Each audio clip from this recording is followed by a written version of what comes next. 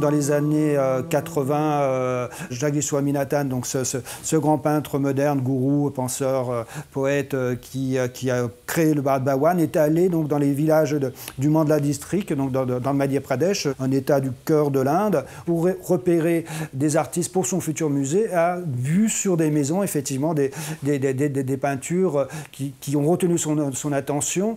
Il a invité euh, Jean Garsing Shyam de la tribu des Gondes à Bhopal pour réaliser ses premières peintures sur, papier et sur toile. Alors, on dit qu'il n'y avait pas de tradition picturale chez cette partie des Gondes. Les Gondes, c'est une tribu euh, pas loin des 2 millions d'individus. Et donc, euh, on dit qu'il n'y avait pas de tradition picturale. Mais par contre, il y avait une tradition donc, de, chanteurs, de joueurs de flûte qui était absolument très, très importante. Et que finalement, ce qu'aurait fait Jean Gard, c'était transposer euh, un art dans une autre forme d'art. C'est-à-dire le chant et la musique au niveau de la peinture. Il a développé un système pictural qui se rapproche, qui peut évoquer celui des aborigènes d'Australie.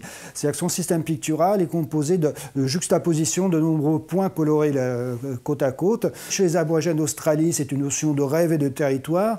Et lui, Jean Gard, m'expliquait que donc, ce pointillisme venait euh, des moments où les chamans de sa tribu pratiquaient la transe. Ils avaient l'impression dans cette transe que les, leur corps se dispersait en particules pour rejoindre dans l'espace ces particules des esprits, former d'autres Et c'était donc une vision ancestrale et poétique de l'atome, tout simplement. Dans la foulée, dans le suivi de Jean Garsing Chiam, d'autres, d'autres peintres euh, gondes se mettent à travailler sur, toile et sur papier. Et pour reconnaître le style de chacun, chacun va adopter une particule différente. Euh, Jean Garsing Chiam, c'est le premier, ça va être juste un point, euh, un seul point juxtaposé aux autres. Ramsing Urveti, qui intervient juste après, ça va être deux points côte à côte, mais comme deux petites flèches en quelque sorte. Bajou Chiam, ça va être deux, deux chaînons comme ceci. Donc on pouvait, parce que les, les styles aujourd'hui évoluent, beaucoup ont laissé tomber cette ADN graphique mais on pouvait, en s'approchant de chaque peinture, regardant les particules qui composaient ces peintures, authentifier la peinture grâce à l'ADN graphique de chaque artiste. C'est les peuples animistes.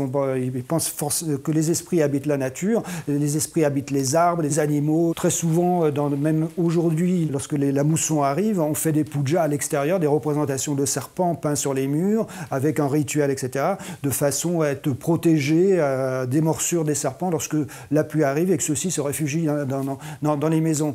Donc il y, a, il y, a, une relation à la nature aussi qui est une relation à la fois d'hommage de, de, à la puissance, à la force du tigre, mais qui est aussi une, une protection. Si on a un respect en quelque sorte de l'animal, euh, on est protégé de cet animal. Et petit à petit, dans les sujets traités par Jean Garcing Cham, sont intervenus aussi des, sujets plus ou moins liés à l'hindouisme. Il y a eu un syncrétisme qui a commencé à se manifester. Le plus fascinant chez Jean Garcing c'est vraiment cette, cette, cette, inventivité picturale qui va être la sienne sur un temps très court, où il invente sans cesse de nouveaux moyens de représentation. Son style évolue et lorsqu'il pratique la sérigraphie, euh, la peinture, la peinture ou le dessin, ces systèmes de représentation vont être à chaque fois réinventés, euh, nouveaux, très créatifs, mais toujours avec un trait d'union euh, entre chaque qui va être la, la, ce qui caractérise sa, sa, sa peinture, qui est une dimension de vibration.